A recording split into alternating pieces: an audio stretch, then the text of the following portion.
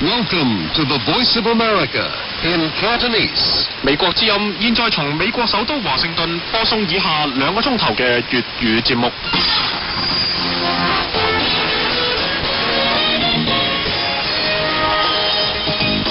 你好，你哋好，我係劉月玲，而家係三月八號星期日，美國東岸時間早上九點，亦都係中國時間晚上九點。以下係今日嘅新聞提要。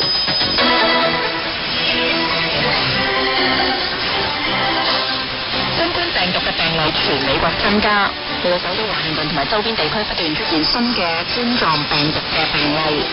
美國總統彭斯話。限制美中航行嘅航空旅行为美国赢得咗防疫嘅時間。另外，彭斯话政府正在对至尊公主號郵輪採取同样嘅措施，就係、船上所有美国人喺未来几日里边都会上岸接受检疫。We're establishing the exact same measures with the Grand Princess, uh, which we announced a plan. People will be. Uh, 另外呢话政府系视维护美国社区同埋国家嘅健康安全与福祉为最高嘅责任。而今晚呢，我哋系进入时事经纬环节之外，专题节目有见小马同埋流行美语，以下系内容。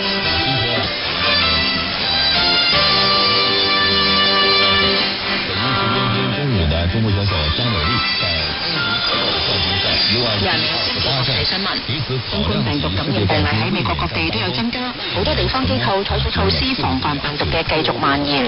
華盛頓州政府星期六宣布，該州新冠病毒感染確診病例係超過一百例，死亡病例一日內增加咗兩宗，之後該州嘅死亡病例上升到十六例，亦都係全美國第十九個死亡病例。星巴克公司話，西雅圖市區一名公司嘅雇員確診係受到咗新冠病毒感染，所有商店已經關閉進行。這是對方的西雅圖保險公司星期五話，公司兩名僱員正在接受病毒嘅檢測。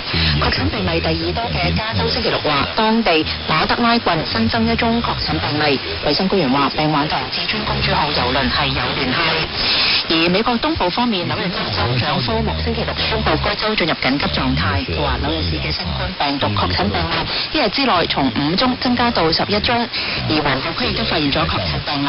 紐約州嘅其他地區新增確診病例係二十一例，之後全州範圍內嘅確診病例上升到七十六宗。喬治亞州新增確診病例十總數上升到六宗。